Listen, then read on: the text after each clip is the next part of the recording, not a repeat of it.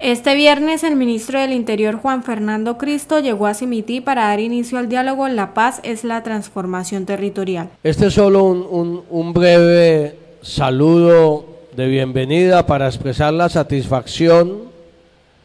de que, como bien lo dijo el alcalde, tengamos la oportunidad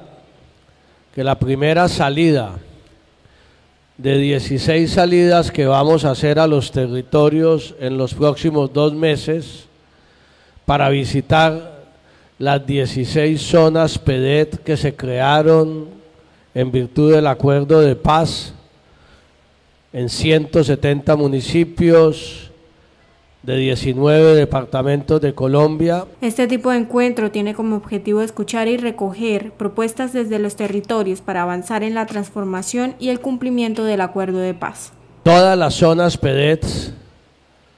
son tal vez las más azotadas por el conflicto, son tal vez las que más necesidades tienen, muchas muy aisladas del desarrollo económico del país y precisamente el propósito de ese acuerdo de paz era y es transformar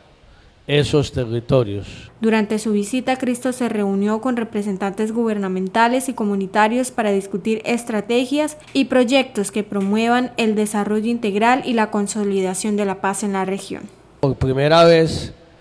a iniciar esta gira que nos debe llevar a un plan de choque que signifique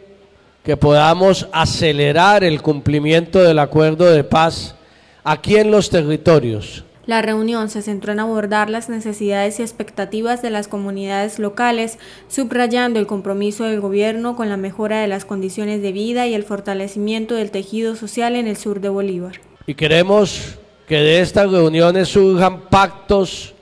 por la vida, por la paz, por la transformación, que sean exigibles, que sean metas viables, que sean cumplibles, porque el compromiso del gobierno del presidente Petro durante estos dos años es ponerse la camiseta de la implementación del acuerdo de paz, recuperar el tiempo perdido en los últimos años después de la firma del acuerdo y con el concurso y la tarea del gobierno nacional, de gobiernos departamentales, de los gobiernos municipales, de las comunidades que siguen expectantes esperando el cumplimiento del acuerdo. La presencia del ministro en Simití es un avance de los objetivos del acuerdo de paz y la implementación de proyectos que buscan el desarrollo equilibrado de la región.